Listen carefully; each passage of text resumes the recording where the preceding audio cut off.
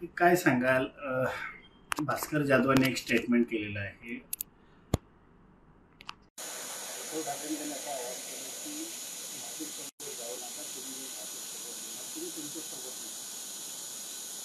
मुळामध्ये एक गोष्ट मला आपण सांगा. शिवसेना प्रमुखांच्या पाठीत खंजीर खुसून.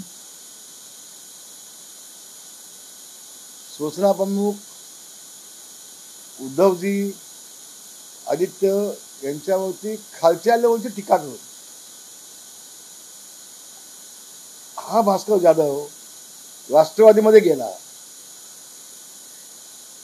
त्यांना नऊ खातं दिली होती मंत्रिमंडळामध्ये नऊ खातं एका माणसाकडे. प्रदेशाध्यक्ष त्यांना केला होता भास्कर जाधव. राष्ट्रवादीमध्ये. असं असताना पुन्हा शरद पवारांच्या पार्टीत खंड खुपसून पुन्हा तो शिवसेनेमध्ये येतोय.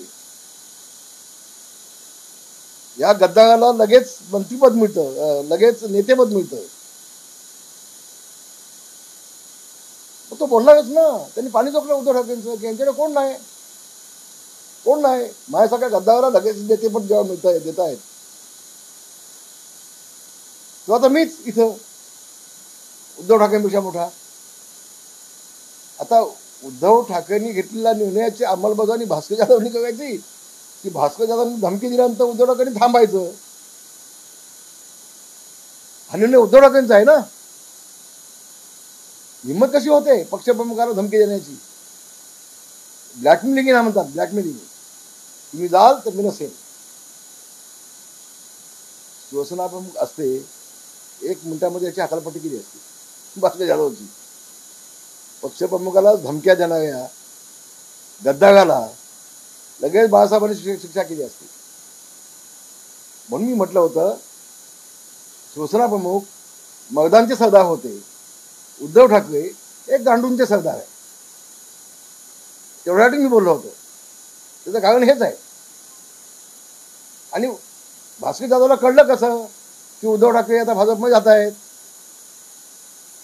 कळलं कसं मुळा मुळामध्ये कुणी सांगितलंय की हवेत बोलतोय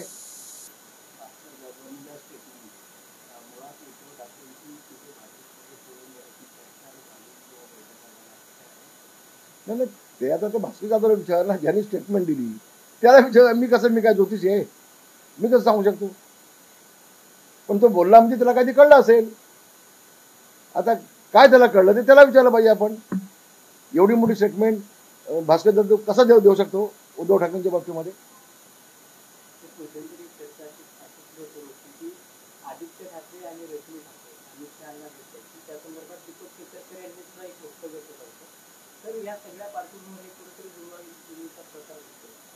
असू शकतो ना. मला एक सांगा ज्यावेळेला उद्धव ठाकरे सर्व पक्षीय शिष्टमंडळ घेऊन दिल्लीत गेले होते ते भेटले शिष्टमंडळ मोदीजींना. नंतर सगळे बाहेर गेल्यानंतर एकटे आतमध्ये आले. आणि वीस मिनिटं मोदीजींसोबत बोलत होते आतमध्ये.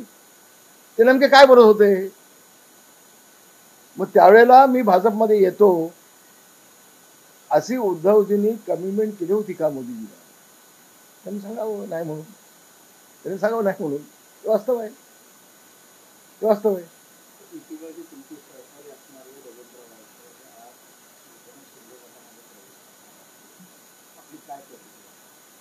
मी त्यांना शुभेच्छा देईन. त्यांचं अभिनंदन करेन. वायकरांचं त्याचं कारण असं आहे त्याला जर ईडीची नोटीस दिली असती तर ते समोर गेले ईडीला सगळी समर्पक उत्तरं दिली. ज्या ज्या अडचणी होत्या त्याच्यावर त्यांनी सगळं समाधानक उत्तरं दिली. आणि मग हा निर्णय घेतलाय. मग हा निर्णय घेतलाय. म्हणून त्यांचं अभिनंदन नंबर एक. ते बघा ते बघा. हे बघा भास्कर यादव बघा नौटंकी होते बघा वरते दुसरी गोष्ट वायकव हे उद्योगींचे अतिशय जवळचे. ज्यांना आम्ही मातोश्रीचे कॅबिनेट किचन म्हणायचे वायकव अजून किती म्हणतो इतक्या जवळचे. डायरेक्ट त्यांचा किचनमध्ये संबंध येतो डायरेक्ट कौटुंबिक नातं. असं होतं. वायकांच्या पत्नीच्या आणि रश्मी अं, जागा खरेदीचे व्यवहार. हे मधल्या काळामध्ये आपल्याला पाहायला मिळाले. संयुक्त संयुक्त. इतके जवळचे संबंध होते. मातोश्री उदासम खोपोलीचं बांधलं. त्याच्यामध्ये सिंहाचा वाटा गोविंद वायकरांचा आहे. शिवसेना भवन उभं केलं. त्याच्यामध्ये सिंहाचा वाटा गोविंद वायकरांचा आहे.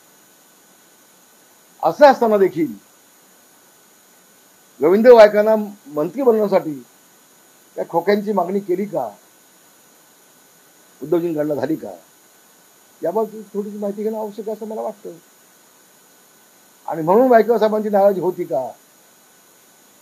या बाबतीमध्ये माहिती घेणं आवश्यक आहे असं मला वाटतं.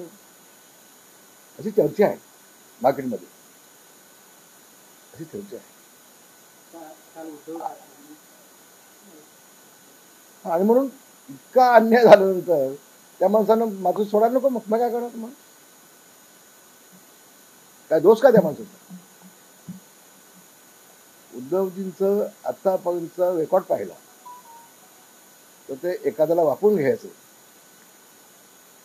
आणि मग त्याला सोडून द्यायचं. बाकी येणारे खोके बंद झाले की त्याला थांबवायचं. हीच उद्धवजींच्या कामाची पद्धत आहे. जी मी अनुभवलेली. मी स्वतः अनुभवलेली. लोकसभा निवडणुका तोंडावर आलेल्या आहेत जागा वाटपाचं नाव सुद्धा सुद्धा आहे काल देखील दिल्लीमध्ये बैठक झाली होती आज पुन्हा बैठक होणार आहे. होतील हो तुम्ही तुम्हाला एवढी मीडियाला चिंता का मला कळत नाही? आणि तुम्हाला मी पुढे जाऊन सांगतो. मी जे बोललोय भाजपबाबत ते महाराष्ट्र लेवलच्या किंवा केंद्राच्या लेवलच्या भाजपबाबत बोललो नाही.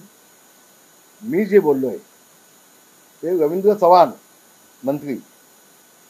त्यांनी पंधरा वीस कोटीचा निधी बजेटमध्ये टाकून त्यांच्या भाजपच्या विधान परिषदेच्या आमदारांना टाकून माझा मुलगा ज्या मतदारसंघाचा आमदार आहे त्या दापोली मतदारसंघामध्ये आणून तिथं भाजपच्या आमदाराला आणून त्याच्या हातानं भूमिपूजन केली स्थानिक आमदाराला बाजूला ठेवून. हाईटचा धर्म आहे का? आम्ही हक्कभंग टाकला असता तर चर्चेला उदाहरण केलं असतं. दुसरी गोष्ट गोव्याचे मुख्यमंत्री दापोली देऊन मावळ रत्नागिरी आणि रायगड तीन मतदारसंघावरती नावं सांगतात. खूप चर्चा चालू आहे जागा वाटप चालू आहे. गोव्याचे मुख्यमंत्री येऊन दावा कसं सांगू शकतात तिथे? जाहीर करू शकतात. त्या बाबतीमध्ये मी बोललो.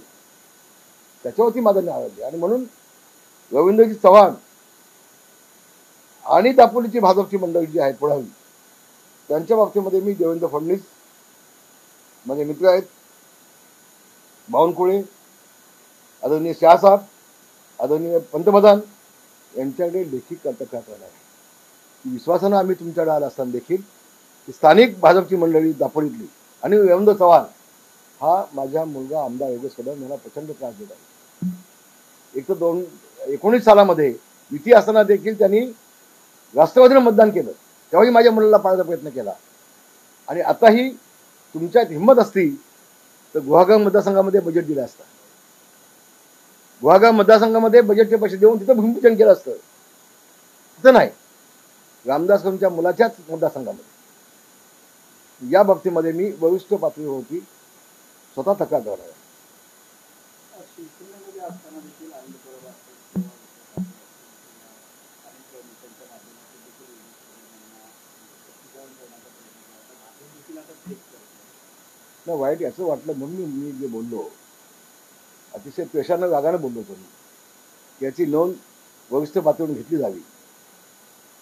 आणि मग तो गव्हाण रवींद्र चव्हाण असू देत की भाजपची तिथली अंडू पांडू जी मंडळी आहेत त्यांना कडक समज देऊन त्यांच्यात कारवाई व्हाय व्हावी एवढी माझी अपेक्षा होती. आणि त्यासाठीच बोललो होतो मी. गोव्याचे मुख्यमंत्री दापोलीमध्ये येऊन कसं जावं सांगू शकतात तीन तीन मतदारसंघाच्या बाबतीत? अहो चर्चा चालू नाही तर ती होऊ ना आधी. आमचा विश्वास आहे ना. आम्ही कुठं हा विश्वास दाखवला आहे यांनी जी स्टेटमेंट दिली सन्माननीय देवेंद्र फडणवीस साहेबांनी की आम्ही एकशे पंधरा असताना देखील एकनाथजी शिंदेना मुख्यमंत्रीपद दिलं. आम्ही त्याचं स्वागत केलं ना. मान्य आम्हाला ना. पण त्याचा अर्थ असा नाही की ज्या विश्वासानं आम्ही तुमच्याकडे आलो त्या विश्वासाला स्थानिक लोक जर तडा देत अस- देत असतील तर त्याचा बंदोबस्त करण्याचं काम देखील वरिष्ठ पातळीवरून झाला पाहिजे एवढी माझी मागणी आहे माफक. काय चुकीचं आहे?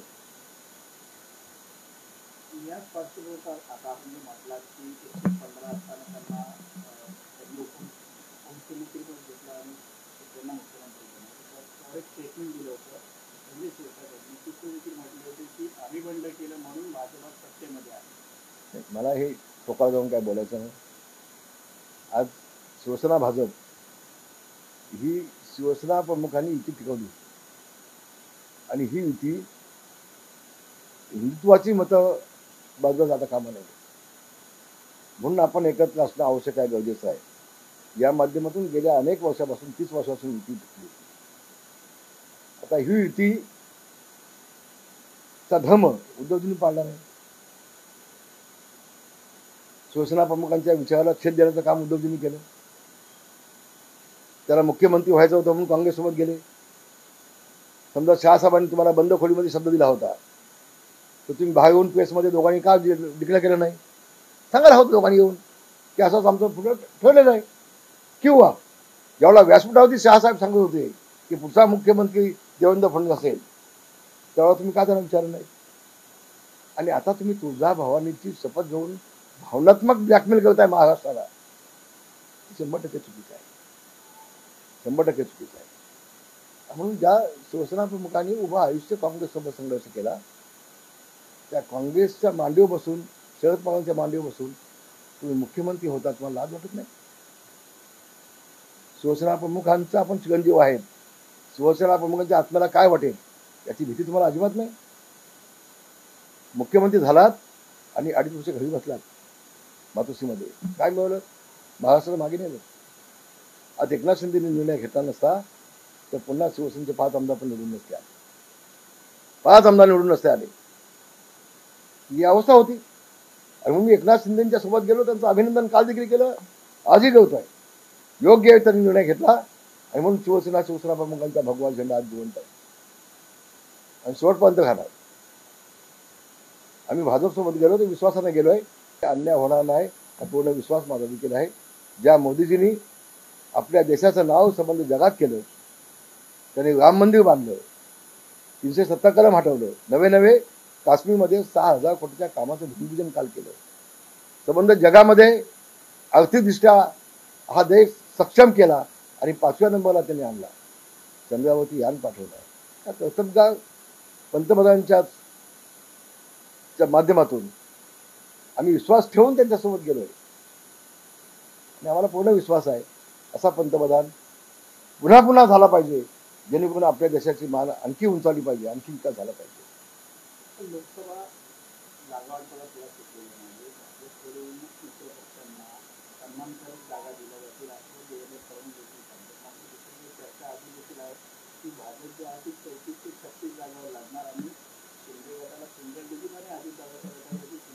एक मी सांगतो मी चर्चेला महत्त्व देत नाही. बिलकुल देत नाही. मीडियामध्ये सगळ्या चर्चा चालतात. आणि मग उचकवायची आणि स्टेटमेंट घ्यायची आणि भांडण लावायची. हे आम्हाला कळतं. गोळ्यामध्ये लांब नाही दोन तीन दिवस थांबा आणखी. दूध का दूध पाणी का पाणी हो जाएगा कुठेही अन्याय होणार नाही बिलकुल नाही होणार उत्तर पश्चिम मुंबई जिल्ह्याची जी जागा आहे ही मागील अ, निवडणुकीत शिवसेना लढली होती गजानन कीर्तीकर त्या खासदार देखील आहे मागील काही दिवसापूर्वी शिंदे आणि अ, शिंदे गटातील कीर्तीकरांनी आपल्या देखील या जागेवर वाद आणला होता मात्र आता ठाकरे गटाकडून अमोल कीर्तीकरांची उमेदवारी जाहीर झालेली आहे. गजानन कीर्तीकरांच्या उमेदवारी संदर्भात किंवा सिद्धेश कदम यांच्या उमेदवारी संदर्भात काय सांगतात हे बघा आम्ही आमचं आणि आता गजाभाऊंचं कुठलंही मतभेद सिद्ध झालेलं नाही. गजाभाऊच तिथे खासदार आहेत त्यांनीच खासदार झालं पाहिजे अशी माझी प्रामाणिक इच्छा आहे. आणि त्यांना तिकीट मिळालं तर ते निवडून येतील. आणि त्यांना तिकीट मिळाल्यानंतर जर त्यांचा मुलगा पुन्हा उभा झाला त्यामध्ये म्हणजे आज मी ते काय बोलणार नाही. एकदा तिकीट जागा होऊ द्या मी बोलेल काय त्याच्यावर बोलायचं. पण आज गजाभाऊंच्यानी आमचे मतभेद सगळे संपलेत आमच्या सिद्धेचं काय वय झालेलं नाही. आणखी पाच वर्ष त्याला थांबायला काही अडचण नाही. दोन हजार एकोणतीसमध्ये आम्ही गजाभाऊ सांगू आता द्या सिद्धेशला पण जागा वाटपावरून शिवसेना नेत्यामध्ये कुठेही मतभेद भविष्यात तुम्हाला पाहायला मिळणार नाही.